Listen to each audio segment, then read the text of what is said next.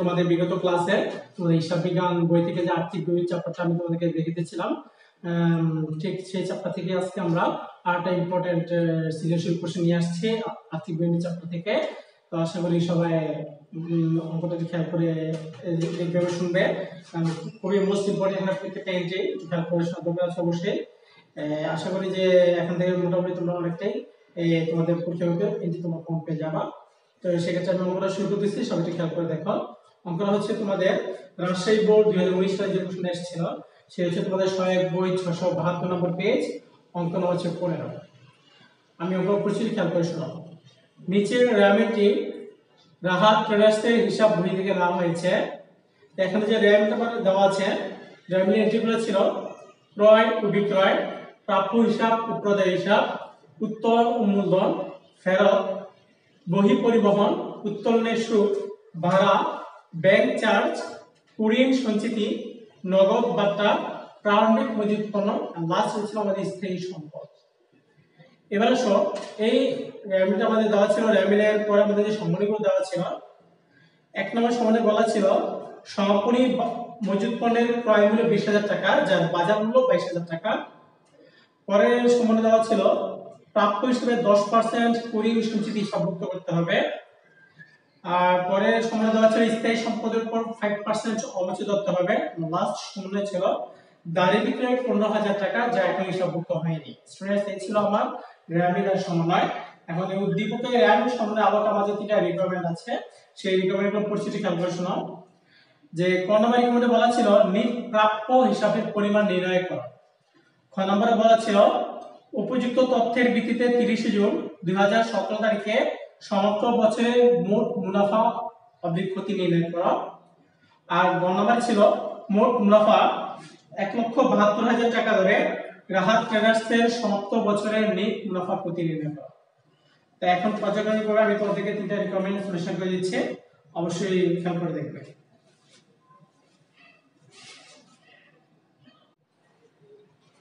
Students খেয়াল করে দেখো যে আমাদের কোন নম্বর যেটা বলা ছিল যে নিট প্রাপ্য হিসাবে পরিমাণ নির্ণয় করো।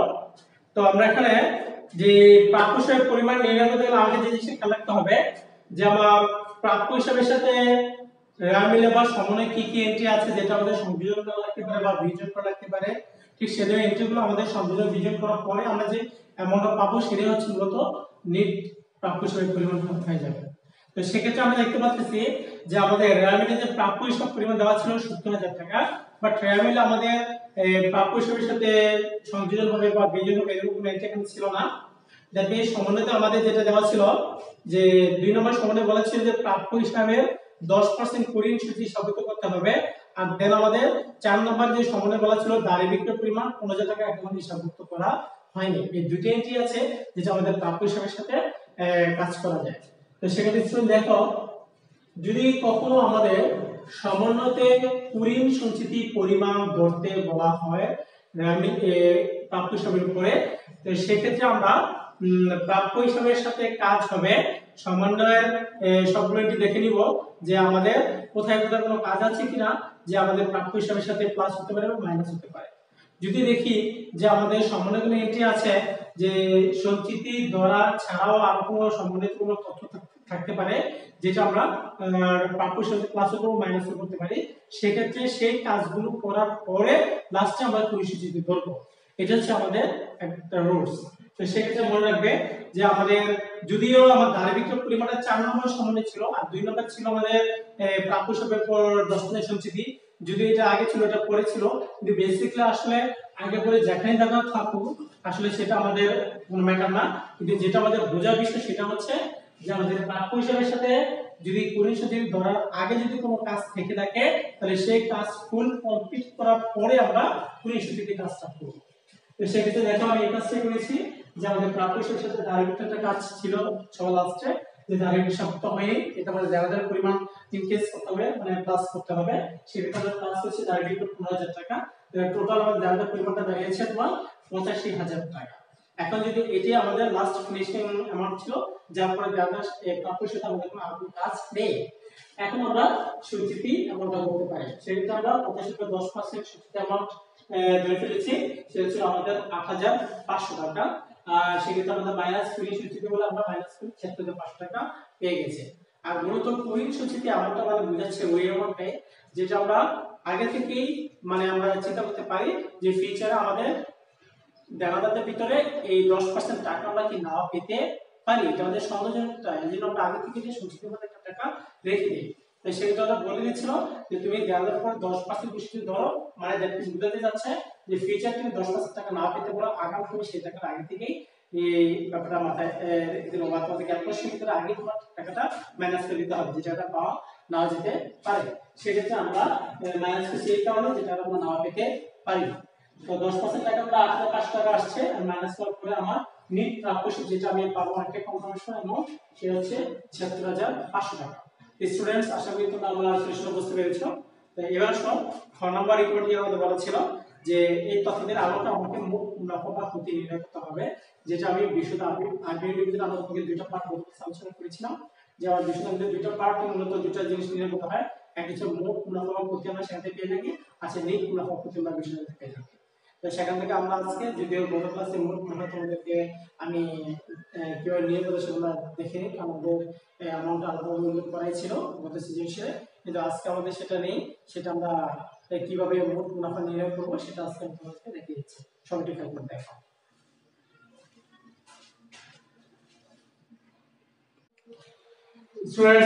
দেখো আমরা এখানে যেহেতু খ নম্বর আমাদের মোট মুনাফা বের করতে বলেছিল আমরা এখানে মোট মুনাফা বের করতে খেয়াল দেখো, প্রথমে আমাদের এরকমভাবে লিখতে হবে যে তোমার হাস ফেডারেশন অ্যাডমিশন আবিবনি দুই হাজার সতেরো সালের তিরিশে জুন তারিখে সমাপ্ত বছরের জন্য যেমন ডিসেম্বর ক্লোজ হচ্ছে, দুই হাজার সতেরো সালের তিরিশে জুন তারিখ। অবশ্যই যদি এটা প্রারম্ভিক ডেট আমরা জানতে চাই, সেটা হবে দুই হাজার সতেরো সালের তিরিশে জুন অথবা পহেলা জুলাই। তো আসো, যে আমরা এখন এটিকে তৈরি করলাম। প্রথমে আমাদের বিক্রয়, তো বিক্রয় ছিল আমাদের বইতে দুই লক্ষ পঁচাশি হাজার টাকা। এই বিক্রয়ের সাথে আমাদের কিছু কাজ ছিল। যেমন র্যামিলি ছিল আমাদের একটা বিক্রয় ফেরত ছিল, আর আমাদের আরেকটা ছিল সমন্বয় চার নম্বরে, যেটা ছিল দাঁড়ি বিক্রয় পনেরো হাজার টাকা হিসাব করতে হয়নি যেটা আমি বাকিতে বিক্রয় করেছি সেটা হয়নি। দ্যাট ইজ বিক্রিত হয়েছিল ঠিকই। আমাদের বিক্রয় অবশ্যই আমাদের ইনকেস করতে হবে তাতে। এই কারণে আমরা এটাকে প্লাস বিক্রয় পনেরো হাজার টাকা বাড়িয়ে দিয়েছি তাহলে আমাদের আমাদের আসে তিন লক্ষ টাকা।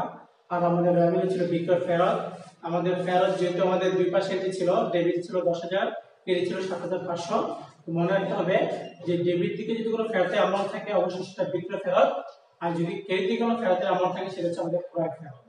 তো যেহেতু আমাদের ডেবিট দিকে অ্যামাউন্টটা ছিল ডেবিট দিকে ফেরত, এই কারণে আমরা এই ফেরত টাকাটা বিক্রয় থেকে মাইনাস করে দিয়েছি। এই টোটাল বিক্রয় তিন লক্ষ টাকা দশ টাকা ফেরত চলে আসে। তাহলে আমার বিক্রয় বাবদ অ্যামাউন্ট থাকতেছে দুই লক্ষ নব্বই হাজার টাকা। এটাই আমাদের নেট বিক্রয় পরিমাণ। এরপর আমাদের বিক্রয় কোনো কাজ ছিল না। এবার আমরা বা বিক্রিত পণ্যের ব্যয় আমি গত ক্লাসে আবার আপনাদেরকে দিয়েছিলাম যে নেট বিক্রয় থেকে কিন্তু আমাদের পণ্যের ব্যয় এমনটা বাদ দিলে আমাদের মোট মুনাফাটা চলে আসে। তো সেক্ষেত্রে আমরা নেট বিক্রয় বের করেছি। এখন আমাদের পণ্যের ব্যয়টা বের করতে হবে। আর বিক্রিত ব্যয় মানে হচ্ছে ওই এন্ট্রিগুলো। যেই এন্ট্রিগুলো আমাদের মনে করো যে ব্যবসায় আমরা যে পণ্যগুলো বিজনেস করি বা ব্যবসা করে থাকি যে পণ্যগুলো নিয়ে, সেই পণ্যগুলো নিয়ে আমাদের যে ডিরেক্ট খরচটা হয়ে থাকে। মানে এই বিক্রিত পণ্যগুলো পিছনে আমাদের যে খরচগুলো আমরা স্পেসিফিক ভাবে যে কীভাবে জড়িত সেই খরচগুলো আমরা এখানে নিয়ে আসব। এখন দেখো, সেরকম এটি আমাদের প্রথমে ছিল যেমন বিজনেসের স্বাভাবিক মজুদ পণ্য, যে স্টক আমার পণ্যটা ছিল, বারো হাজার টাকা পণ্য আমরা স্টক আমরা ব্যবসা করার জন্য নিয়ে নিয়েছিলাম। তারপরে আমরা ক্রয় করেছি এক লক্ষ টাকার পণ্য। এখান থেকে আমাদের কিছু আমরা পণ্য ফেরত দিয়েছিলাম, যেটা আমাদের ক্রয়ের সাথে প্লাস মাইনাস পণ্যটা এখানে একটা ফেরত, যে ক্রেডিট দিকে সাত হাজার পাঁচশো টাকা বলেছি যে দিকে আমার টাকা যেহেতু আমরা ফেরত দিয়ে দিয়েছি, তাহলে সেক্ষেত্রে আমাদের এই কোনো করতে হবে। নিয়ে হাজার পাঁচশো টাকা। আমাদের আর কোনো অ্যামাউন্ট ছিল না, যেটা আমাদের পণ্য এই সম্পৃক্ত কোনো অ্যামাউন্ট নেই। আমাদের দুটোই আমরা পেয়েছি। করে আমাদের চলে আসতেছে এক লক্ষ চৌচল্লিশ হাজার পাঁচশো টাকা। এখন এই ফুল টাকার পণ্যটা এখন আমার ব্যবসাতে আছে। কিন্তু আমরা যখন বছর লাস্টে মুখভাবে বের করতে যাই, তখন দেখে আমাদের স্টকে আবার বিশ হাজার টাকার পণ্য রয়ে গেছে। এমন আমরা কোথা থেকে পেয়েছি? সেটা আমাদের সম্বন্ধে দেওয়া ছিল যে সম্পূর্ণ মজুদ পণ্য মানে সম্পূর্ণ মজুদ পণ্য মানে হচ্ছে বৈশাখ কাল শেষ তারিখে তোমার স্টকে যেই পণ্যটা থাকে।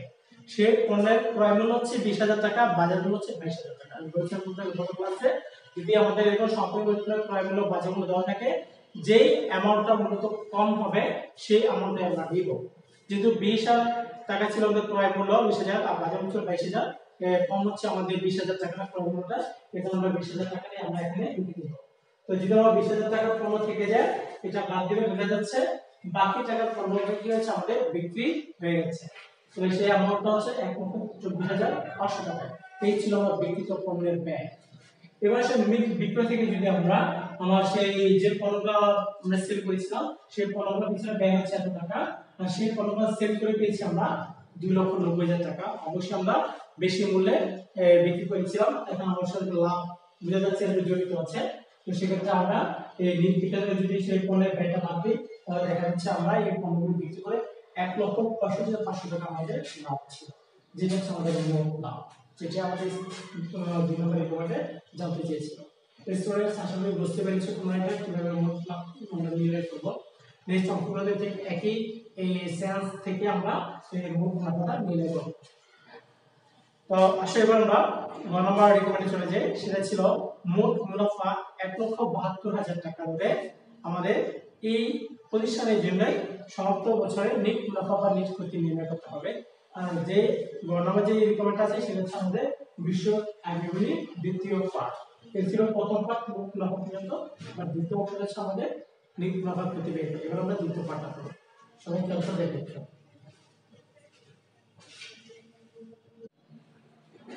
স্টুডেন্টস তারপর দেখো আমরা যে গ নম্বরে যেটা বলা ছিল যে মোট মুনাফা এক লক্ষ বাহাত্তর হাজার টাকা ধরে আমাদের নিট মুনাফা নিষ্পত্তি নিয়োগ করতে হবে। এটা ছিল আমাদের বিশ্ববিদ্যালয়ের সেকেন্ড অংশটা।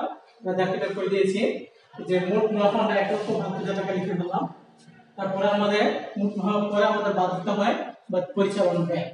তো পরিচালন ব্যয় হয়ে যাচ্ছে যে খরচগুলো আমাদের কোম্পানির জন্য বা আমাদের ব্যবসার জন্য পরোক্ষ ইনডিরেক্টলি খরচ হয়। যেমন সেটা হচ্ছে আমাদের প্রথমে এখানে আছে বহি পরিবহন, যেটা ছিল ষোলো হাজার পাঁচশো টাকা। যেহেতু আমাদের সমন্বয়ে এই বই পরিবহনের কোনো সংযোজন বা বিযোগ একটি ছিল না জন্য আমরা ডিগ্রি লিখে দিয়েছি ষোলো হাজার পাঁচশো টাকা তারপরটা ছিল আমাদের ভাড়া বারো হাজার টাকা, এতেও আমাদের কোনো সমন্বয় ছিল না, এটাও আমরা ডিগ্রি লিখে দিয়েছি। তারপর ছিল আমাদের ব্যাংক চার্জ তিন হাজার টাকা এইটাও আমরা ডিগ্রি লিখে দিয়েছি। তারপর ছিল আমাদের নগদ বার্তার ভিতরে ডেবিটে ছিল আট হাজার পাঁচশো ক্রেডিট ছিল দশ হাজার টাকা। যেহেতু আমাদের নগদ বার্তা হচ্ছে দুই প্রকার প্রদত্ত বার্তা প্রাপ্ত বার্তা সেক্ষেত্রে ডেবিট দিকেটা হবে আমাদের প্রদত্ত বার্তা আর ক্রেডিট দিকের টাকাটা হবে আমাদের প্রাপ্ত বার্তা সেক্ষেত্রে প্রদত্ত বার্তা যেটা আমাদের একটা ব্যয় পরিচয় ব্যয় এটা আমরা লিখে দিয়েছি এটা, আট হাজার পাঁচশো টাকা। এরপরে আমাদের এখানে রামিল আর্পণ ছিল না, কিন্তু এরপরে আমাদের যে রামিল পুরাতন পরিষদ আছে, সেটা কাজ হবে আমাদের নতুন পরিষদের সাথে আমাদের যেহেতু সমন্বয় নতুন পরিষদের একটা অ্যামাউন্ট রয়েছে আমাদের, যে প্রাপ্য হিসাবে দশ পার্সেন্ট পরিষদের অর্থ, এটা আমাদের মূলত নতুন পরিষদ মূলত সমন্বয় যেটা থাকে সেটা আমাদের নতুন পরিষদ যেটা আমাদেরকে বুঝতে হবে। আর যেটা রামিলে থাকে এটা আমাদের পুরাতন থেকে তো সেক্ষেত্রে আমরা নতুন পরিস্থিতিতে আমরা সমন্বয় যা ছিল, দশ পার্সেন্ট যাদের দত্তগুলো ছিল সেটা আমরা ধরে পেয়েছিলাম আট হাজার পাঁচশো টাকা তো লিখলাম। লেখার পরে আমাদের পুরাতন পরিস্থিতিতে যেটা আমরা গত বছরের জন্য মানে মুনাফা টাকা থেকে আমরা রেখে দিয়েছিলাম যে যদি আমাদের নেক্সট ইয়ারে এরকম কোনো টাকা ওদের পাওয়া যাবে নিশ্চিত না থাকে, তখন আমরা সেটাকে, এই টাকা দিয়ে আমরা সেটাকে রেফারেন্স কভার করে দিই। তো সেক্ষেত্রে আমরা এই পরিস্থিতি টাকাটাকে আমরা গত পরিস্থিতি সূচিত টাকাটা ছিল আমাদের পরিস্থিতি সেই টাকা দিয়ে আমরা এখানে মাইনাস করার পরে দেখা যাচ্ছে আমাদের আরও চার হাজার টাকা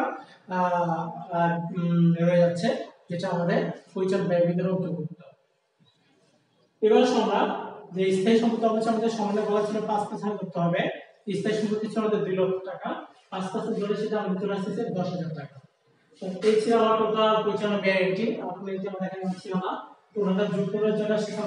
হাজার টাকা মোট পরিচালন ব্যয়। এবার আমরা যদি মোট মুনাফা থেকে তাহলে আমরা দেখতেছি আমাদের লাভ আসতেছে যেটাকে আমরা মোট পরিচালন এক লক্ষ আঠারো হাজার টাকা। এরপরে আমরা পরিচালন যে কাজটা হবে সেটা অন্যান্য আয়। অন্যান্য আয় ভিতরে যত প্রকার আইডেন্টি আসবে, সেটা সব কিছু আমরা এখানে অ্যাড করে দিব।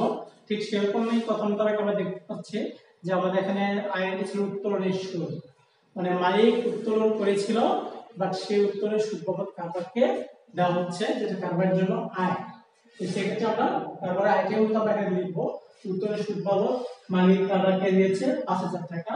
এটা আমরা আয় দিতে লিখে ফেললাম। আর নেক্সট আমরা একটা এন্ট্রি ছিল আয়ে সেটা হচ্ছে তোমার নগদ বার্তা যে আমরা বলছি, প্রাপ্ত বার্তা বদ্ধ বার্তা প্রথমে প্রয়োজন ভ্যালু ছিল আমাদের। কিন্তু প্রাপ্ত টাকা আয় এন্ট্রি সেক্ষেত্রে সেই আয়টাকে আমরা অনলাইন করে ফেলব। সেই প্রাপ্ত টাকা দিয়েছিল আমাদের, দশ হাজার টাকা। আয় কোনো আকার আমার আয় এন্ট্রি ছিল না, মূলত এই দুটো এন্ট্রি ছিল। এই টোটাল আমাদের আয় চলে আসতেছে পনেরো হাজার টাকা। এরপরে আমাদের আশা করি সন্ধান হবে যেহেতু আমাদের এখানে এন্ট্রি নেই সেক্ষেত্রে আমরা এখানে তো প্রস্তুতি আমরা। তো সেক্ষেত্রে আমরা এই পরিচয় যদি আমরা আমাদের নতুন করে অন্যান্য আয় করতেছি পনেরো হাজার টাকা এক প্লেট টোটাল আমাদের খাতটা চলে আসছে এক লক্ষ তেত্রিশ হাজার এটি আমাদের পরিমাণ।